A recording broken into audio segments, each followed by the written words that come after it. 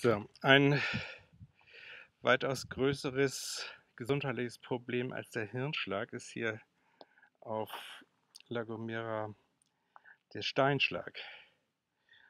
Unter diesem Felsen zum Beispiel liegt ein 45-jähriger Tourist.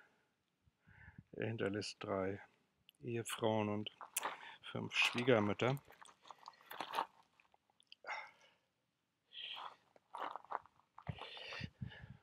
Eine kurze Schweigeminute ist hier angemessen.